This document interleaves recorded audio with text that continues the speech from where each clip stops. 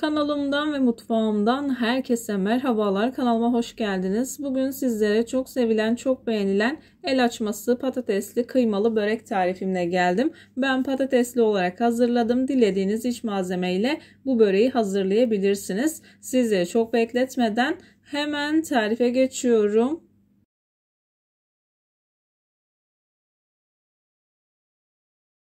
Tarifim için ilk olarak yoğurma kabıma 6 bardak un, 1 tatlı kaşığı tuz, tuz miktarını dilerseniz kendi damak tadınıza göre arttırabilirsiniz. 1,5 bardak kadar suyu ekledim. Unu alttan alarak yavaş yavaş hamurumu yoğurmaya başladım.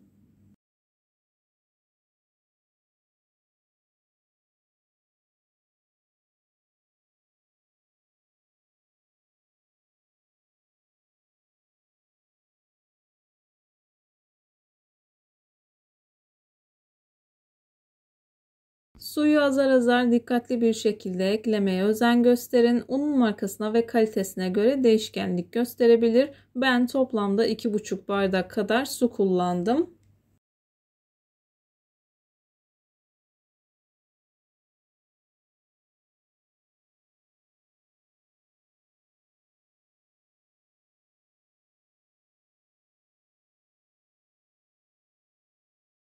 Bu tarz el açması börek tarifleri yaparken hamuru mutlaka güzel bir şekilde yoğurmanız gerekiyor. Hamuru yoğurma kabında toparladıktan sonra mutlaka masada da 5-6 dakika kadar özlü bir hal alıncaya kadar yoğurmanız gerekiyor.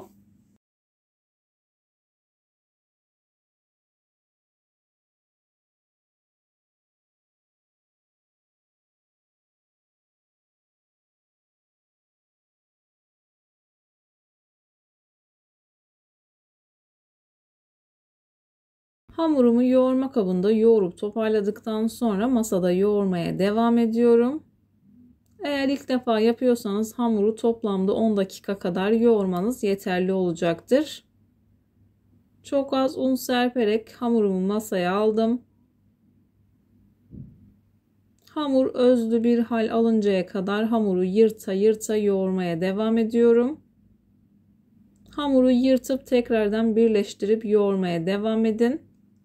İlerleyen dakikalarda daha da yakından göstermeye çalışacağım. İlk defa deneyenler için ayrıntılı bir şekilde anlatmaya çalışıyorum.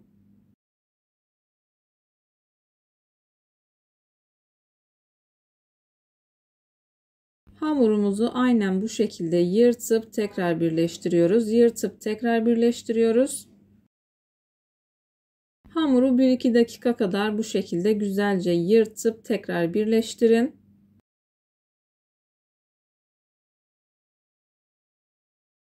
Hamuru sakız kıvamına gelinceye kadar güzel bir şekilde yoğuralım. Ben hamurumu yoğurmaya devam ederken buraya kadar gelmiş olan siz değerli takipçilerimden her zaman olduğu gibi ricam yoruma kalp olur, emoji olur veya tarifim hakkında farklı bir fikriniz varsa bunu da benimle paylaşabilirsiniz. Ayrıca birçok tarife kanalımdan ulaşabilirsiniz. Kete tarifleri, baklava tarifleri, su böreği tarifi çok beğenilen içli köfte tariflerime de yine kanalımdan ulaşabilirsiniz. Hamuru güzel bir şekilde yoğurdum çok fazla kesmeden.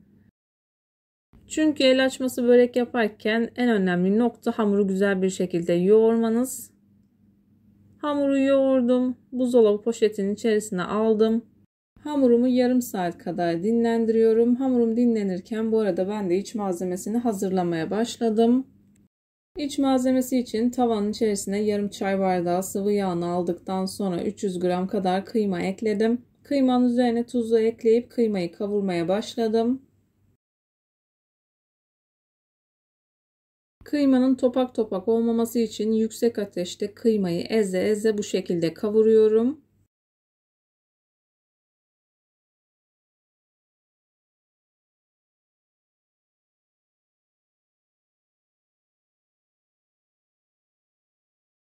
Kıyma suyunu salıp çektikten sonra birkaç dakika kadar güzelce kavuruyorum. Kıyma kavrulduktan sonra 2 adet küçük boy soğanımı minik minik doğradım.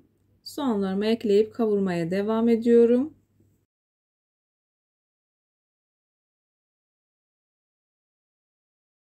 Soğanlar da hafif pembeleşip kavrulduktan sonra bir adet kapya biberi minik minik doğradım. Kapya biber ekliyorum. Dilerseniz eklemeye de bilirsiniz. Kapya biberini de birkaç dakika kadar kavurdum. Üzerine haşladığım 6-7 adet patatesimi bu şekilde ezdim. Daha sonra patatesleri karıştırmaya başlarken bu arada baharatlarını da ekliyorum. Baharat olarak ben tuz, pul biber ve karabiber ekledim. Dilerseniz başka baharatlar da ekleyebilirsiniz. Baharatlarını ekledikten sonra ocağımın altını kapatıyorum. Güzelce karıştırdıktan sonra soğuması için kenara alıyorum.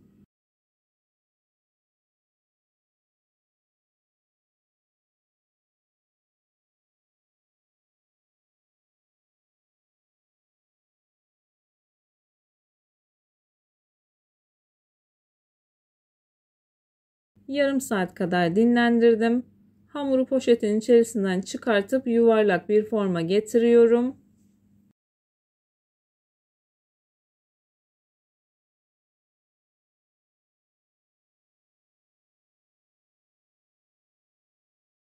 Yuvarlak forma getirdiğim hamuru hamur kartı ile 6'ya bölüyorum. Masanızın büyüklüğüne göre parçalara ayırabilirsiniz.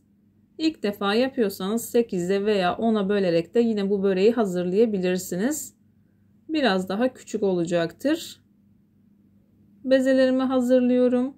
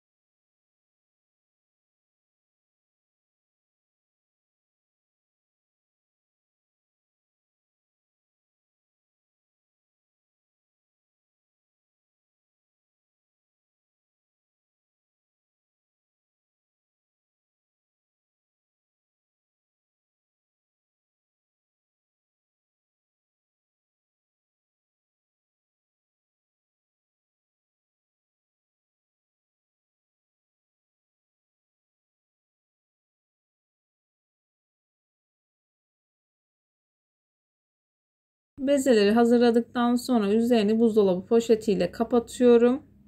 Üzerini bir mutfak havlusu ile de kapatın. 10 dakika kadar dinlendirin. 10 dakika kadar dinlendirdim bezelerimi. Pasta tabağı büyüklüğünde açıyorum. Hamurumuz orta sertlikte olduğu için gördüğünüz gibi masaya çok fazla yapışmıyor. O yüzden un kullanmamıza gerek yok.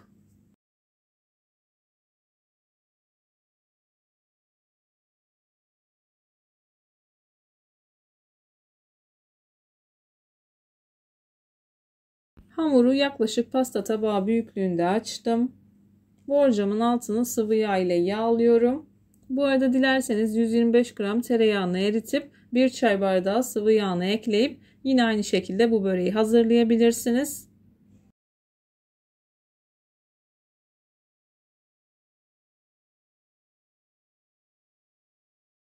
Hamurları güzel bir şekilde yağlamaya dikkat edin.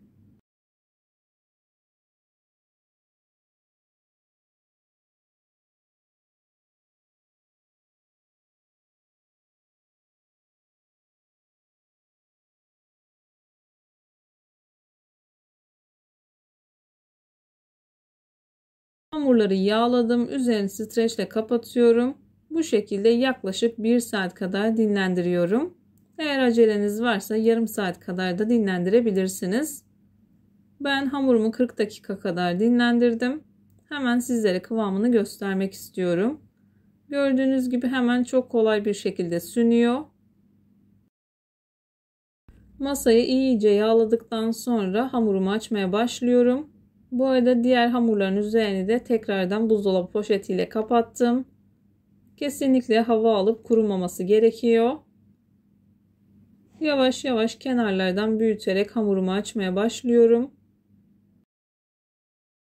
El açması börek yaparken hamuru bu şekilde büyüttüğünüz zaman baktınız ki hamur açılmıyor. Elinizi biraz yağlayın, üzerinde elinizi gezdirin Bu şekilde 2 dakika kadar bekletin. Daha sonra tekrardan hamurunuzu açmaya devam edebilirsiniz.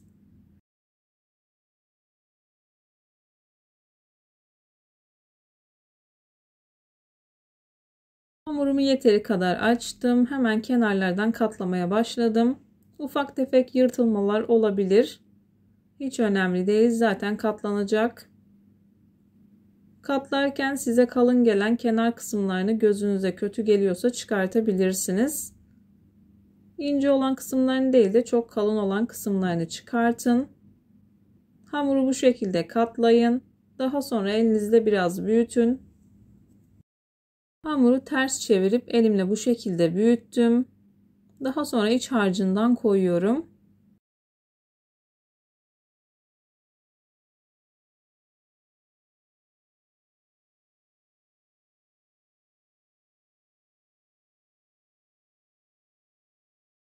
Ben patatesli kıymalı olarak hazırladım. Dilediğiniz iç malzemeyi hazırlayabilirsiniz. İç harcından bol bol koyuyorum. Daha sonra katlıyorum. İsterseniz rulo şeklinde sarabilirsiniz. Veya bu şekilde katlayabilirsiniz.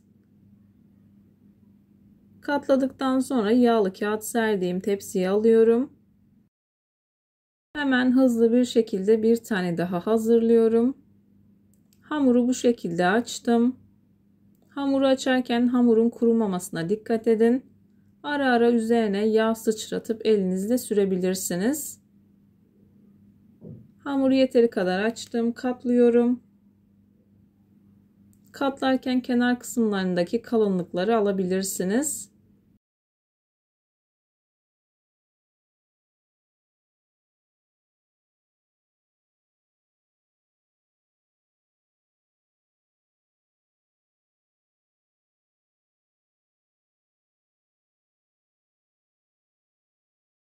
Hamuru bu şekilde katmer şeklinde katlayıp iç harcını koyuyorum. Bu arada eğer isterseniz bu e, hazırladığımız katmerleri pişirip o şekilde de tüketebilirsiniz. O şekilde de çok hazırlarım. Gerçekten çok güzel olur. Bütün böreklerimi hazırladım. Yağlı kağıt serdiğim tepsiye aldım. Bardağın dibinde kalan yağı üzerine sürdüm. Çörek otu ve susam serptikten sonra önceden ısıtılmış 170 derecelik fırında altı üstü nar gibi kızarıncaya kadar böreklerimi pişirdim.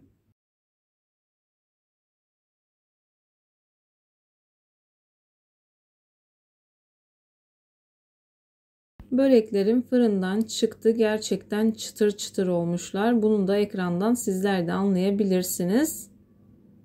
Çok fazla araba sesi girdiği için çıtırtısını açmadım. Eğer isterseniz hikayemde paylaşabilirim.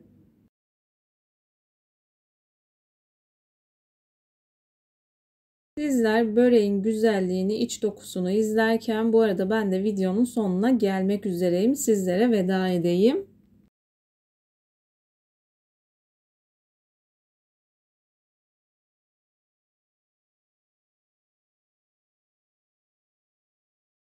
Bir videonun bir tarifin daha sonuna geldim. Umarım tarifimi izlerken sıkılmamış, aksine keyif almışsınızdır. Videomu beğendiyseniz beğenmeyi, kanalıma hala abone değilseniz bu videodan sonra kanalıma abone olmayı, bildirim zilini açmayı lütfen unutmayın. Kendinize ve sevdiklerinize çok iyi bakın. Başka bir tarifte, başka bir lezzette görüşmek üzere. Hoşça kalın. Allah'a emanet olun.